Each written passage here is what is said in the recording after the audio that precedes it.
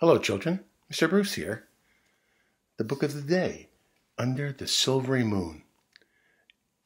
It's a story about a mother kitten trying to get her baby kitten to go to sleep. And it's a rhyming book. But before we start that, eyes watching, ears, one on each side, check, listening, voices quiet, body calm.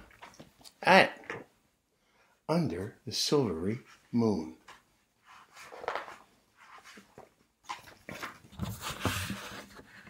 The stars were shining brightly.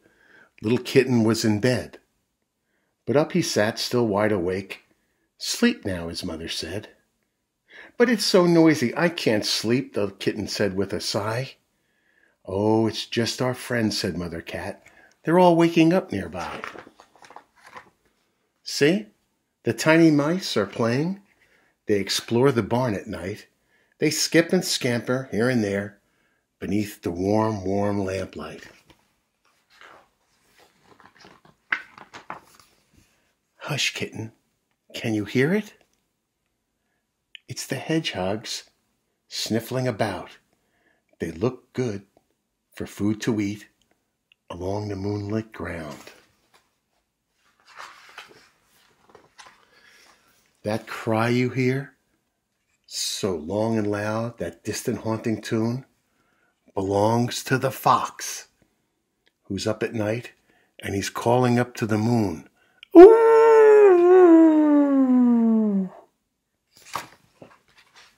Sounds like Noah. Around us swirls a summer song. It's whispered through the trees. The evening wind is blowing through the softly rustling leaves. Shh.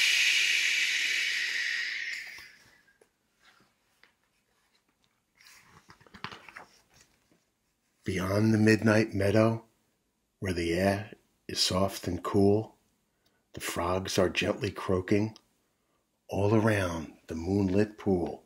Ribbit, ribbit, ribbit, ribbit.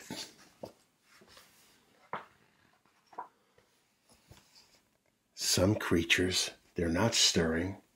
They do not make a peep. Like us, they've had a very busy day and now they're fast asleep. Wake up!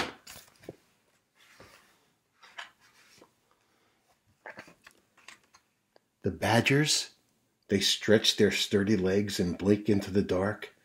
Good evening, they are calling, with a deep and playful bark. Oop, oop, oop, oop, oop. That's what a badger looks like.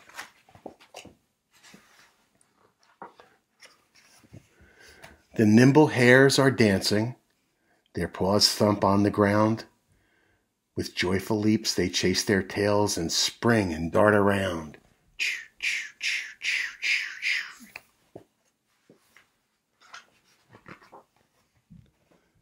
Something quiet and gentle lights up the dark night skies.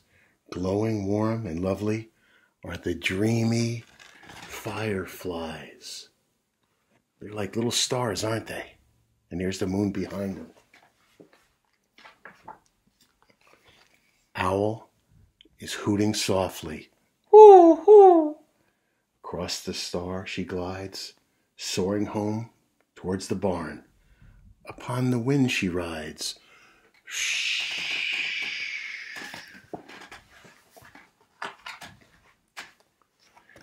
And so you see, my little one, there's nothing you should fear. Our friends, nighttime's adventures, are all that you can hear. Little kitten closed his eyes and hugged his mother tight. It's time you went to sleep, she purred. Sweet dreams, my love. Good night.